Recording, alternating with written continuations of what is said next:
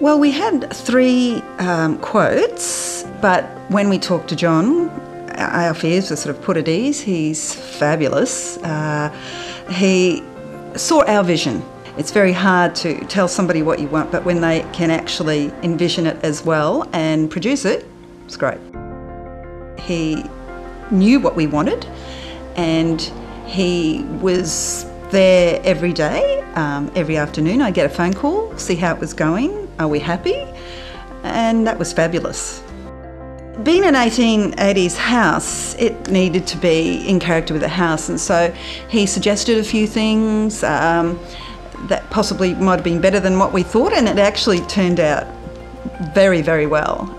Very professional, work really hard, the work ethic is great, and always there if there's an issue.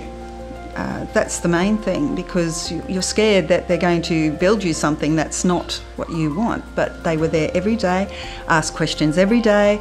Um, the work was fabulous.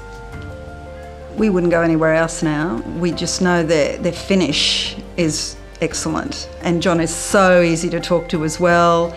You could ring him anytime if you had a query or and if there was anything that we wanted extra, not a problem. If we wanted something else extra put onto it, fabulous, easy. So we'll definitely go with them again, yes.